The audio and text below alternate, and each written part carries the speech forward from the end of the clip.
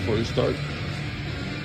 Take out the, uh, the antifreeze cap, so no pressure in. Make sure to uh, squeeze your uh, antifreeze line so you don't have a spill or mix up a new DEF tank because uh, that's gonna cause a whole bunch of other issues.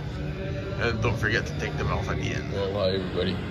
Uh, changing that little filter here in the uh, DEF tank. Couldn't find any vids on the uh, YouTube, so might as well do mine, right? So I took everything out, took the bolts out. Here, where the them, just keep them together and they go out. That one, you look at the top one, you spray it down a bit, it goes backwards.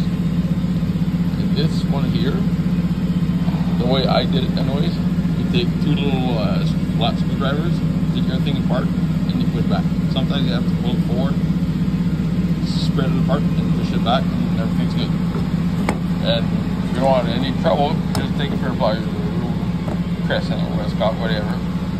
Just quarter turn, just like that, that's it. And, uh, just lift, lift it a bit there, and uh, that part here with the heater and everything, gotta go, go out real smooth.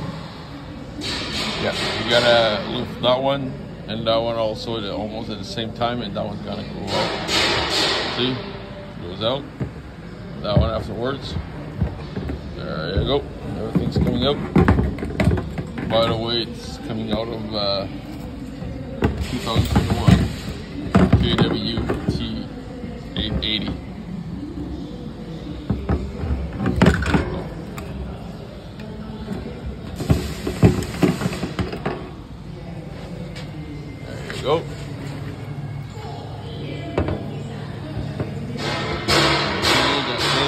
There you go. And uh, before you put it in, make sure yeah, everything's really clean because it's the DEF, eh? You want no dirt in there. And for that filter, just press here and away it goes. You're gonna have to unscrew that those little plates and take out the filter. We're gonna take out those two uh, torque and screw. After that, just retort your bolt. Make sure it's not too because still plastic that.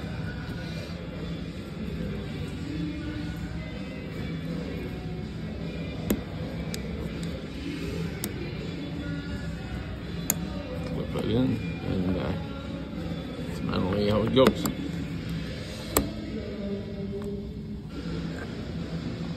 The two for the heater.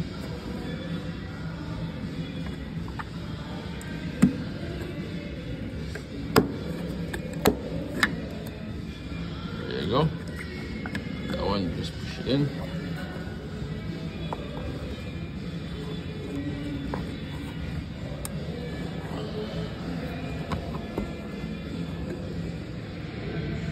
That one, you push it in.